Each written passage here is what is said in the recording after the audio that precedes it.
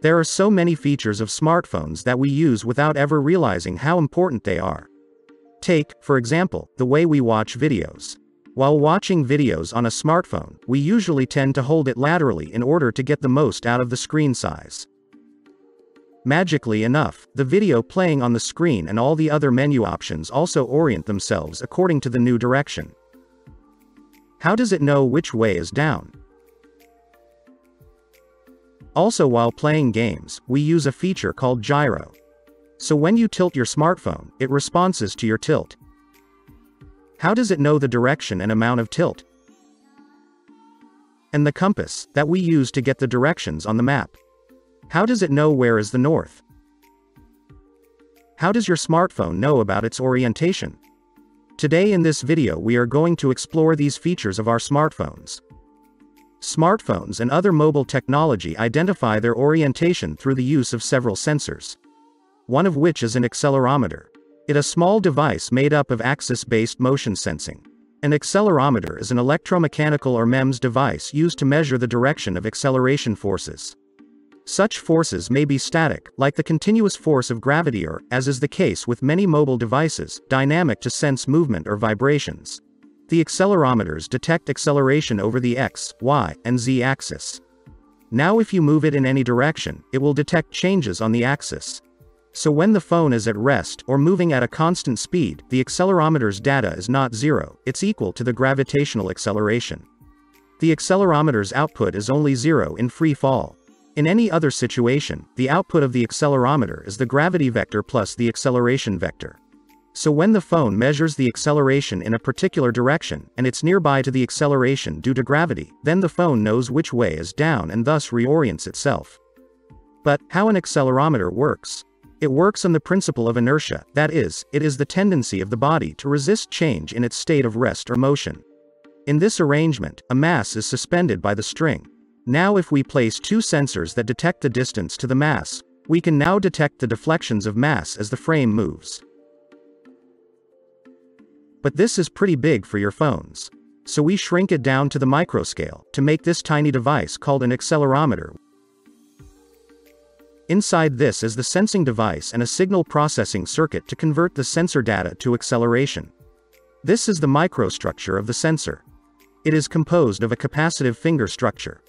Its arrangement is the same as this frame arrangement.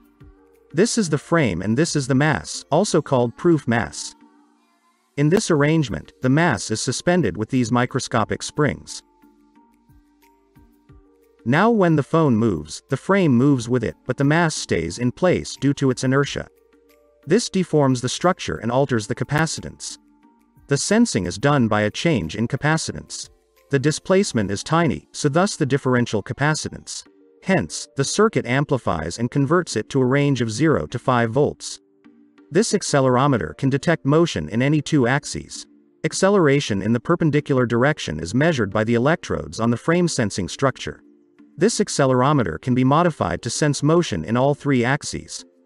In this configuration, the proof mass is suspended in the center of the frame with the help of microscopic springs. Acceleration in the xy plane is sensed by capacitive fingers fixed on the frame of each respective axis. Both sensing structures also contain electrodes that can sense vertical travel of the proof mass forming the simultaneous action of the z-axis accelerometer. Now we can sense which way is down precisely. So, could we use the accelerometer to detect the phone's rotation? Well, no, once you start actually moving the phone it becomes impossible to tell which acceleration is true acceleration and which is the gravitational acceleration. The accelerometer will actually detect the perceived gravity, not the actual gravity or acceleration. Hence we introduce you to another sensor called the gyro sensor or gyroscope. A gyroscope is used to measure the angular rate using the Coriolis effect. It states that when a mass is moving in a particular direction, then a perpendicular angular force applied to a moving mass creates a force perpendicular to both. If we detect the acceleration of this force, we can calculate the value of rotation. And to detect acceleration we use as an accelerometer. Gyroscopes are made by suspending an accelerometer on a platform. The platform is oscillated with the help of solenoids. So when the frame is rotated, due to the Coriolis effect, the proof mass in the accelerometer deflects. This deflection is measured and processed by the circuitry then converted to 0 to 5 volts signal. This accelerometer can detect acceleration in two directions and so thus the gyroscope. Both the rotations are perpendicular to the linear motion of the accelerometer.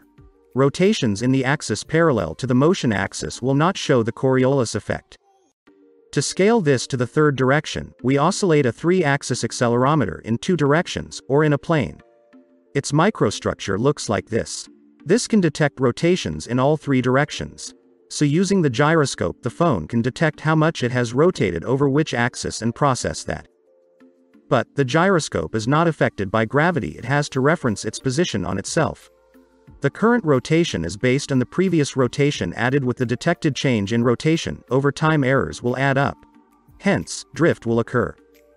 The gyroscope itself is not enough to calculate the through rotation of the phone. Due to these uncertainties of accelerometer and gyroscopes, they apply a principle called sensor fusion, in which they combine data of different sensors to achieve a much more certain outcome.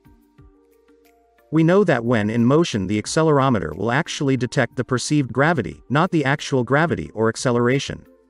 By using the rotational information from the gyroscope, we can estimate what the actual gravity vector should be. Also, we can subtract it from the perceived gravity vector to calculate the true acceleration. Similarly, the accelerometer can be used to recalibrate the reference frame of the gyroscope and get a more correct and consistent rotation. Whenever the device is at rest, the output of the accelerometer equals the gravity vector. And drift can be periodically corrected by using the gravity vector from the accelerometer. With these two sensors, we use one more for the orientation of the phone. It is called a magnetometer. The magnetometer is used to define the rotation of the phone in the magnetic field. So it's basically a compass. To define in which direction you are moving relative to the ground, you'll need the magnetometer. It works based on the Hall effect. It states that, when a current-carrying conductive plate is placed perpendicular to the magnetic field, a potential difference is produced perpendicular to both.